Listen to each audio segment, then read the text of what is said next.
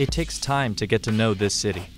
Whether you're a student at Cal or just a resident, anyone who lives here at some point or another discovers that Berkeley, like the rest of the Bay Area, is a place of opportunity and culture. But how much do we know about the grounds beneath this city? What about the people who lived here before us? What has changed for them? And what's next? My name is Jaydon Krooss, and this is Cal TV.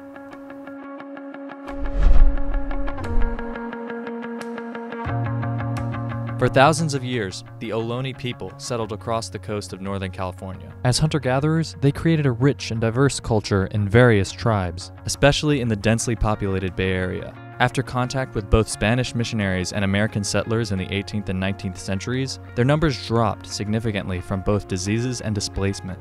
However, their descendants are still here today, both as members of their respective tribes and as active Berkeley residents. I wanted to find out how the city of Berkeley recognizes these tribes and looks to preserve the Ohlone legacy. I found my answer at the Berkeley Shell Mound, the site of the 1900 4th Street project. The shell mounds are hill-sized piles of shells, tools, skeletons, and soil created by thousands of years of use by Ohlone natives. These piles stood high above the tides, allowing tribes to settle near the shoreline on the remains of their ancestors. Despite their importance to the Ohlone heritage, many sites have been dug up, covered, or completely destroyed by decades of American urban development. The first case, a dance pavilion for California's Shell Mound Park attraction.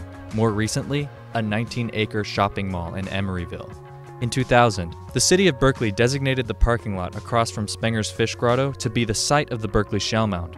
According to the city, this parking lot covers the largest shell mound ever recorded in the region, but that's not entirely accurate.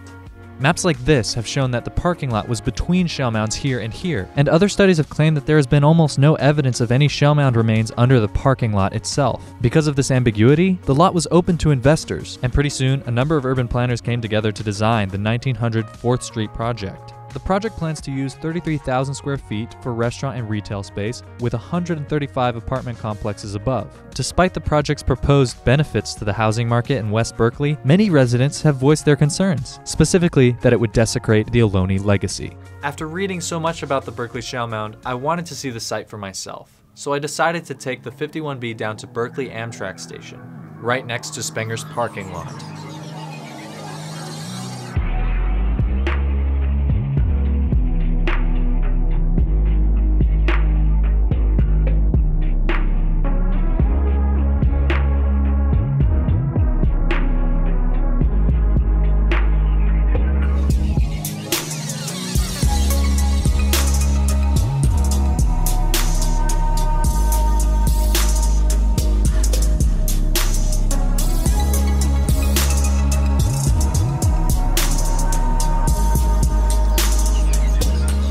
There's a lot more construction here than I realized.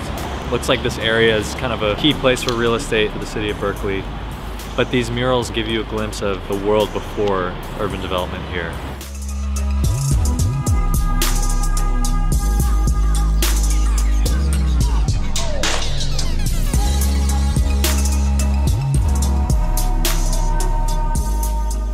So surrounding this area is uh, 4th Street University, Hearst and the train tracks. Everywhere around here used to be the shell mounds which piled up 40, 50 feet high of Ohlone remains and artifacts. The Ohlone tribes would live on those shell mounds and they were kind of like burial grounds. Despite that the city of Berkeley considers this particular parking lot to be the site of the Berkeley Shell Mound and it's a landmark, it's kind of debatable whether it was actually the site.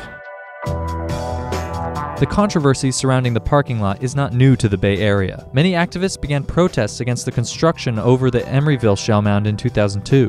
One such activist was Corrina Gould, who began the IPOC, the Indian People Organizing for Change, in an effort to raise awareness about the native heritage in the Bay Area and the destruction of their shell mounds. Corrina's objective is to protect these grounds by gaining federal recognition for active Ohlone tribes, and protecting the Berkeley Shell Mound is one of her priorities. In March of this year, the IPOC proposed an alternate design for the lot, a park with a 40 foot high mound that would provide as both a cultural monument and a space for preservation. But there is another side to the issue. Andrew Galvin, the Ohlone representative who is overseeing the construction of 1900 4th Street, has voiced his support for the project, saying that the parking lot was mistakenly landmarked in the first place. And as studies have shown, he may not be wrong. Considering that the project promises 135 new homes for Berkeley residents, 10% of which will be designated for low income families, it is hard to say that preserving the lot based on outdated information is really worth it, especially in Berkeley's current housing market. At the moment, the future is uncertain for city planners and the IPOC, but it's important for students like us to learn more about what's happening in our city, to stay informed.